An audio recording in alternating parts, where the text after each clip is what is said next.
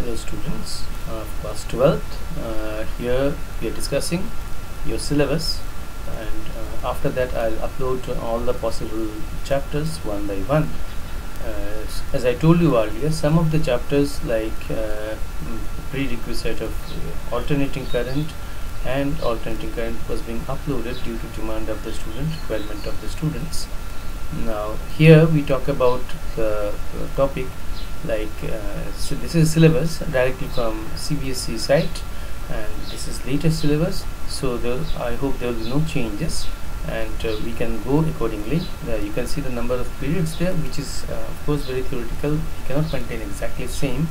I'll try to give you concentrated topics and marks are very clearly mentioned here. So first two chapters are basically electrostatics uh, two chapters makes altogether uh, electrostatics and they have included current electricity also in that and that makes uh, uh, first unit is electrostatics second unit is current electricity. So we need some classes to understand each and every details of current elect- electrostatics and then we'll go to current electricity. Current electricity which is unit 2 has got two parts and uh, first part will deal with drift velocity and somewhat like uh, unit 1 electrostatics. Um, we'll talk about mobility of the charges inside the conductor and all this stuff. And then second part is more engineering.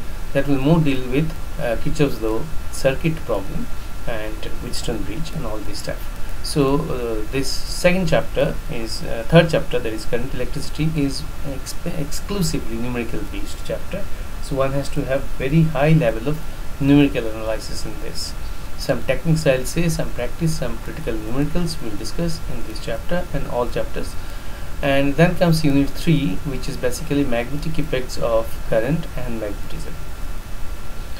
Magnetism as such is a, a more theoretical based chapter but many numericals are very critical in magnetism and to grasp magnetism uh, you need huge time and understanding because you have to visualize many things which is not visible whereas moving charges and magnetism are not so complicated? We normally they categorized moving charges into two categories first part it's talking about the moving charges in a conductor. So we can relate this with current electricity.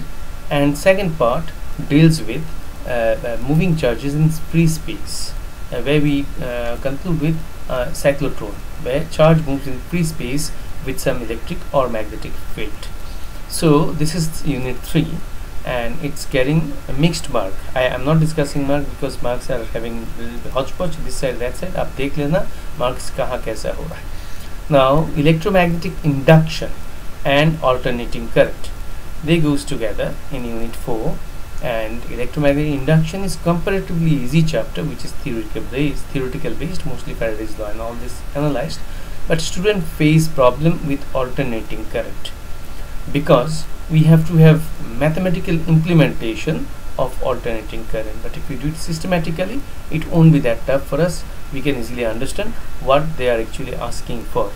Even then numerical still remains a challenge uh, in this chapter alternating current because there can be anything asked and we have to be very well prepared for this and I'll go accordingly.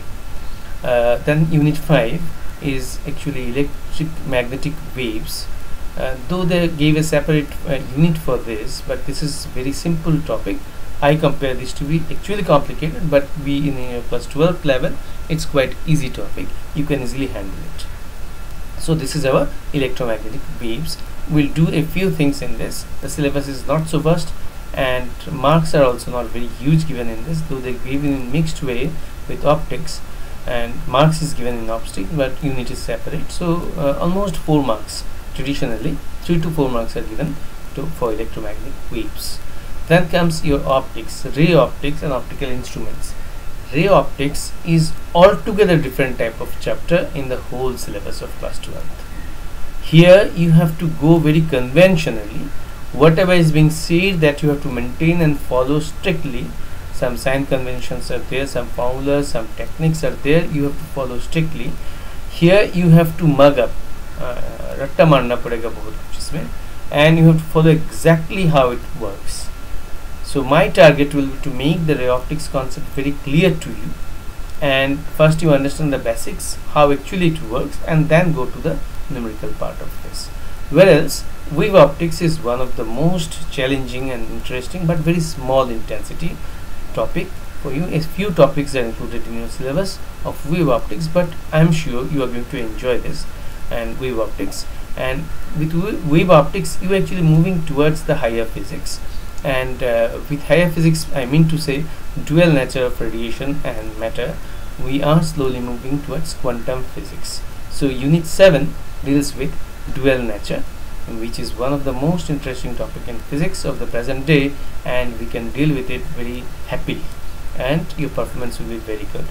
And I mostly deal with uh, some notes on these topics because if I spread more these are so vast chapters and CBSE syllabus uh, uh, doesn't permit to go beyond this level.